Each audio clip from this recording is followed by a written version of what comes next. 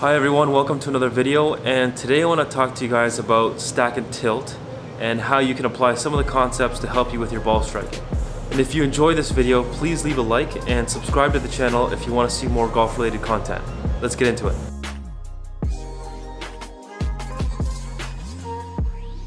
So during my time here in Singapore, I've had a lot of opportunity to learn some new things to help people with their swings and one of them was, was about stack and tilt. Now I have the great opportunity of working with Rob Cheney and Nick Taylor who have extensive knowledge about this system. So I just wanted to share some concepts that may help you uh, with your swing. Controlling your low point or being able to hit the same spot on the ground consistently is considered to be the first key fundamental of stack and tilt. Now it is very obvious that the better the player is, the more often they're able to hit solid contact and hit the same spot on the ground almost all of the time. Now the worse the player is, the less control they have of their low point. So they can hit the ground first a lot, or they can hit the top of the ball a lot of the time. So if you're one of those players that has difficulty controlling where the bottom of the swing is, then most likely you have trouble controlling the distances of your ball, uh, the ball flight, and even the dispersion as well. So I will be sharing three things that will improve your knowledge or understanding of how to control your low point in your swing. So the first key element in being able to control your low point is about how you're distributing your weight throughout the swing. So this can be visually represented by the center of your hip and the center of your shoulders. Okay, so now conventionally, when people take the club back, you can see that the center of their shoulder kind of moves to the right of, of the center of their hip, or their upper body gets more behind the golf ball than their hip does. Now, with stack and tilt, the idea is that by the time you get to the top of the swing, the center of your shoulders is directly on top of the center of your hip. Okay?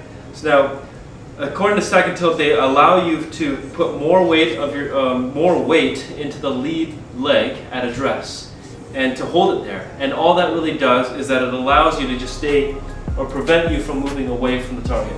So if you can make sure that your the, the center of your shoulders and the center of your hip is on top of each other, you may feel as if the majority or a little bit more of your weight stays on your lead side. But if you can do that properly, you'll find that you'll be able to hit the same spot on the ground much more frequently. So the second element um, that controls the low point is what you're doing with your wrists and how that affects the radius of your swing. So now, the radius can be defined as the distance between your lead shoulder and the club head.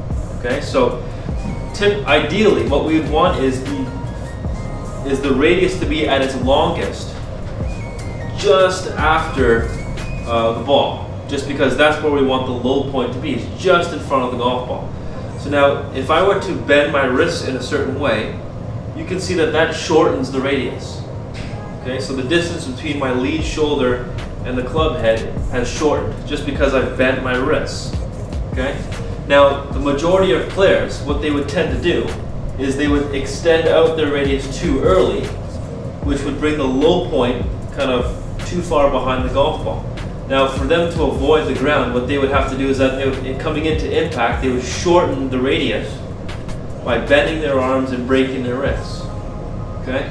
So now, just assuming that your body is doing what it's supposed to, right? The center of your shoulders is directly above the center of your hip. If I extend out my radius too early, I can still hit the ground first. Okay, so that we have to make sure that you're able to control the radius so that the, the longest point between the, the shoulder and the club is just after impact. And that should also allow you to hit the same spot on the ground all the time. So the third element that controls the low point is the path that you're swinging the club. So a golfer that swings the club too much from in to out will have the low point too far behind the golf ball. And reversely, if a player is too over the top and the club is outside of the golf ball coming down, they tend to be a bit more steep into the golf ball and the low point actually shifts more in front of the ball. So now this can actually be visually represented best with uh, a noodle. If I if I bring you a pool noodle here and put it on a on a slight arc, just kind of representing a slight into out path. Now, when I put this noodle kind of on a lot more of an into out path, kind of exaggerated, you can see that the bottom um, of the noodle or kind of where the noodle touches the ground is further behind the golf ball. Right now, reversely, if I bring the path too much out to in, the other way, you can see that the bottom of the, of the pool noodle touches the ground further in front of the golf ball. Okay, so this is kind of a good representation uh, of the relationship between the path and the low point of the swing. So there you have it. Those are the three basic key elements according to Stack and Tilt that will help you control the bottom of your swing. Now, if you don't know too much about Stack and Tilt, I would highly recommend that you do some research on it. Um, you may find that it changes your perspective on the golf swing itself. So be sure to follow me on my Instagram at Jonathan K. Moss. Uh, but other than that, if you guys have any other questions, please leave a comment down below. Uh, and until next time, I will see you guys on the next video.